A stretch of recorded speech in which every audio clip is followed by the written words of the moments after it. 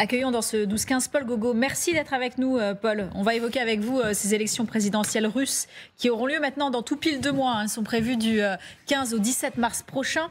On sait que les jeux sont faits. Vladimir Poutine prévoit, c'était Medouza qui le disait, d'être élu à 80 86% C'est encore plus que pendant l'élection de 2018. Un Vladimir Poutine qui fait le ménage. Existe d'ailleurs une femme dont nous on avait beaucoup parlé ici, Ekaterina Dounsova, journaliste et ancienne députée, écartée par la commission électorale russe. En revanche, Sylvia Mikon, il y a des candidats qui l'arrangent, dont un que le chef du Kremlin tenterait de faire monter. Euh, qui est ce monsieur? Léonid Slutsky, c'est ça? Exactement. Son visage ne vous est peut-être euh, pas connu, mais il s'agit en tout cas du président du Parti libéral démocrate russe, Leonid Slutsky. Il a 55 ans. Eh bien, il succède, enfin, il a succédé à Vladimir Zhirinovsky, le fondateur du parti, euh, parti qui est ultra-nationaliste, aligné sur le Kremlin. Alors, son CV est déjà bien euh, rempli, accusé de corruption, de harcèlement sexuel, et il est soupçonné également d'avoir fait le lien entre le Kremlin et le Rassemblement national. On le voit d'ailleurs ici sur ces images avec Marine Le Pen en 2017. Il a annoncé la couleur, hein, Leonid Slutsky. Je ne rêve pas de vaincre Vladimir Poutine, dit-il. Il est aujourd'hui l'homme le plus influent de la planète. Fin de citation. Slutsky est donc l'un des candidats approuvés pour la présidentielle. Il a obtenu le blanc-seing de la commission électorale. C'était le 5 janvier. On va l'écouter. C'est le début d'une campagne électorale très importante. Quoique courte, à l'heure où le pays, où le monde russe tout entier vit, comme je le dis souvent, un moment de vérité. Probablement le plus important de notre histoire moderne. Voilà, car le problème pour Poutine, effectivement, c'est qu'il faut tout de même trouver des challengers, des candidats qui pourront récolter des voix et plafonner sa victoire aux alentours des 80%, pas au-delà. Le Kremlin a donc décidé qu'il fallait donner un petit coup de pouce à Leonid Slutsky, un candidat euh, pas vraiment charismatique comparé à son prédécesseur. Les administrations et les ambassades ont été mises au courant hein, de ce choix selon le média euh, indépendant Medusa. Voici ce que dit par exemple une de ses sources hein, au sein de la direction d'une des régions russes. L'essentiel est que le score du président avoisine les 80%. Le reste n'est que variation. Les autres candidats sont une page vierge. Au sein de l'administration présidentielle, on nous a dit que Slutsky avait besoin d'aide concrètement, comment ça va se passer? Comment vont-ils s'y prendre pour euh, falsifier les résultats? Alors, dans un premier temps, il n'est pas question de falsifier les résultats, hein, plutôt on entend simplement le mettre en avant, organiser euh, des voyages de campagne en présence de la presse. Il a par exemple visité le 30 décembre une serre euh, de, légumes hein, dans la région de Tchoukotka. Le président Poutine d'ailleurs a visité exactement le même endroit dix jours plus tard. Pour certaines sources, eh bien la tâche, elle s'annonce compliquée, voire complètement impossible, hein, surtout si on vise la deuxième place. Regardons les résultats de 2018, hein, euh, euh, n'avait obtenu que 5,6% des voix malgré sa longue relation avec les Russes, malgré euh, son charisme. Hein, C'était derrière le Parti communiste. Alors, la machine, elle est engrangée par le Kremlin. Tout est déjà écrit. Le politique va se déplacer en région, rencontrer les gouverneurs. Les reportages passeront à la télévision d'État. Le Kremlin a recommandé de qualifier le politicien de d'expérimenter, d'élu à la Douma pendant six législatures. Son idéologie, le conservatisme, le patriotisme, la défense du monde russe et le retour à une grande Russie pacifique. Merci beaucoup Sylvia. Paul Gogo, on fait comme si cette élection était démocratique et on fait euh, monter le candidat qui, arrange Vladimir Poutine. Là, c'est ça qui se passe avec la présence de cet opposant, euh, oui, c'est assez intéressant parce que d'ordinaire, Vladimir Poutine ne semblait pas particulièrement se poser la question euh, des deux candidats donc euh, qu'on dit d'opposition euh, systémique, parce qu'en fait, ce sont le communiste et le nationaliste LDPR. ce sont des partis qui sont présents à la Douma et qui, au quotidien, votent les lois du, du parti du pouvoir. et donc, d'ordinaire, les choses se faisaient assez naturellement, c'est-à-dire qu'il y a des gens, d'ailleurs, c'est ce qui est précisé dans cet article, il y a des gens qui votent Parti communiste depuis à peu près toujours et donc, c'est un vote qu'on ne peut pas vraiment influencer, qu'on ne peut pas euh, vraiment faire augmenter ou diminuer. Euh, par contre, le vote nationaliste, euh, c'est quelque chose de très intéressant parce que ça correspond à une idéologie qui est très présente dans la Russie d'aujourd'hui. On se souvient notamment d'Evgeny Prigogine de Wagner, hein, qui en fait défendait cette idéologie cette idéologie-là, pardon. Euh, et là, LDPR, Slutsky, c'est la même idéologie, mais en, moins radical, en plus modéré, euh, vraiment en soutenant le Kremlin. Et donc c'est assez intéressant parce que c'est un rappel aussi, cette stratégie du Kremlin, euh, que Vladimir Poutine, il se bat pas pour sa réélection parce qu'il sait que ce sera le cas. Je veux dire, il n'a pas besoin de faire campagne pour sa réélection. par contre, sa réélection, elle n'aura de valeur que s'il y a de la participation.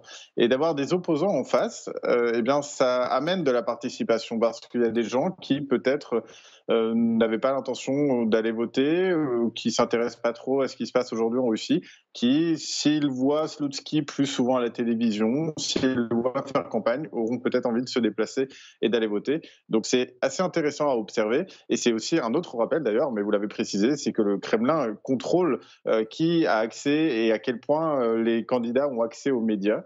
Et donc il peut comme ça gérer l'influence et la notoriété des politiciens russes en donnant ou refusant l'accès aux médias le, long du temps, quoi, sur le long terme, pardon. C'est passionnant ce que vous dites, c'est vraiment du théâtre, ces hmm. élections. C'est-à-dire que le tsar choisit lui-même ses, ses, opposants, en quelque sorte. Oui, et, on n'en a d'ailleurs peut-être pas fini hein, avec cette stratégie, parce que euh, j'ai récemment refait la liste euh, des candidats, alors pour le coup d'opposition libérale, qui avaient été euh, placés par le Kremlin durant les dernières présidentielles depuis 2004 à chaque élection, donc en plus du, du communiste et du nationaliste, il y avait aussi euh, quelqu'un qui sortait de nulle part et qui jouait le, rôle, qui jouait le rôle de l'opposant euh, libéral, qui avait à peu près le même rôle, euh, c'est-à-dire ramener de la participation, mais aussi diviser l'opposition, parce que c'est ce qu'on voit aujourd'hui, l'opposition qui est dont les leaders sont en grande partie en exil aujourd'hui, euh, se disputent déjà pour savoir s'il faut boycotter cette présidentielle ou s'il faut aller voter pour n'importe qui, sauf Vladimir Poutine. Et on voit un candidat euh, que, vous avez peut-être déjà repéré, euh, Boris Nadiejdin, qui pourrait peut-être, dans les semaines qui viennent, jouer le rôle de cet opposant, pour le coup, cette fois-ci libéral, mais sous contrôle du Kremlin, et qui permettra au pouvoir donc de diviser l'opposition et d'amener encore plus de participation dans cette élection. Hmm. On voulait vous faire réagir aussi, euh, Paul, et d'ailleurs l'ensemble du plateau, bien évidemment, à ce micro-trottoir qui nous est parvenu, euh, cette, euh, ce média qui est allé à, la rencontre des moscovites. Alors c'est intéressant parce qu'on n'entend pas souvent ça. Mais, mais, regardez ce qu'ils nous disent à propos du président Vladimir Poutine. Est-ce que vous aimez Vladimir Poutine? C'est la question que ce média a posée à ces moscovites. Écoutons leur réponse. Qui a dit que je l'aimais?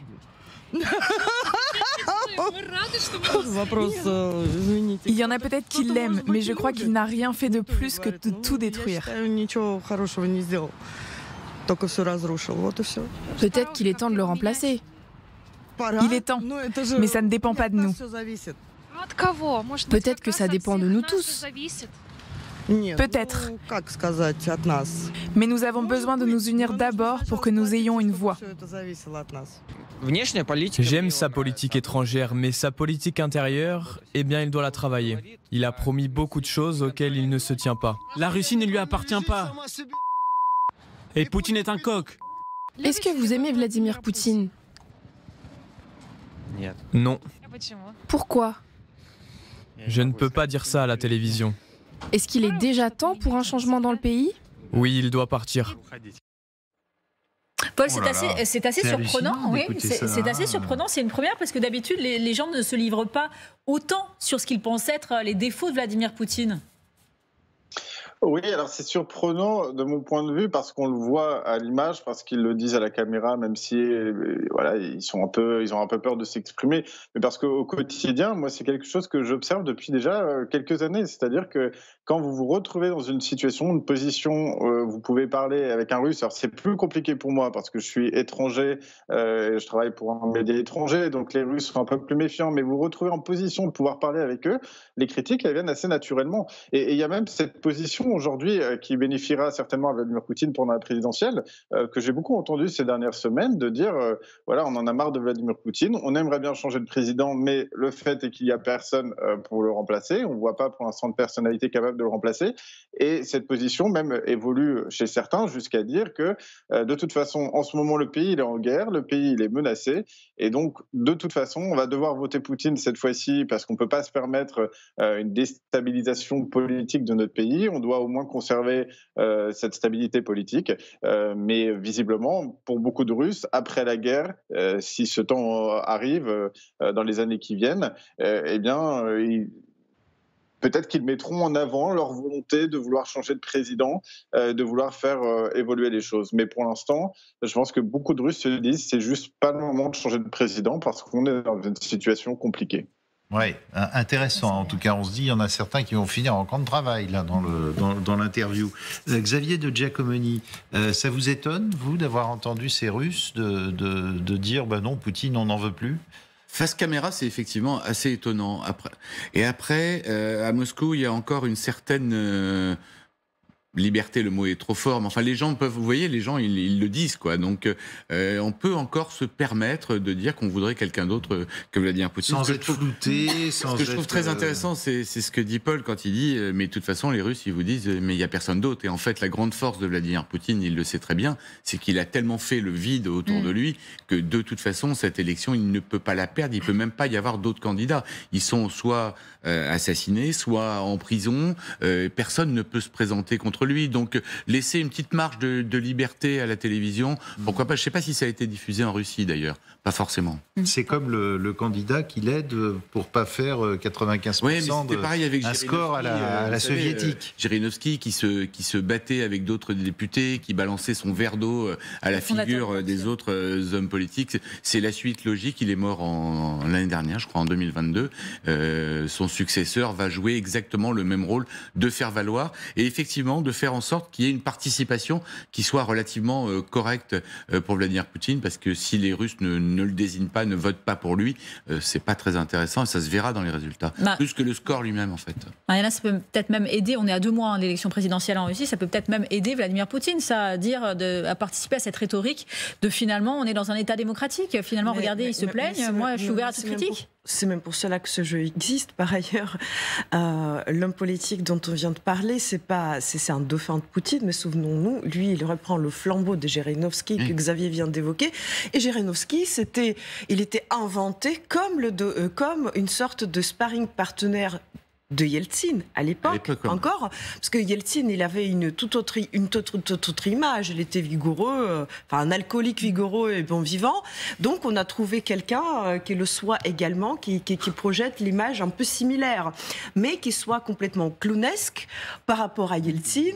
Un troublion euh, contrôlable. Voilà, par rapport à Yeltsin qui devait paraître beaucoup plus sérieux euh, sur le fond de, de, de, Donc en fait, c'est une grande tradition et ce micro-trottoir, il n'étonne en rien parce qu'il faut toujours se rappeler que les mm. Russes eux-mêmes ne vivent pas dans une réalité où ils n'ont pas d'élection, mm. où il n'y a pas de liberté, mm. où ils ne peuvent rien dire ou, rien décider. C'est tout est le jeu et, les autorités russes, ils sont maîtres à, vraiment amener leur population à vouloir voter et, pour qui il faut.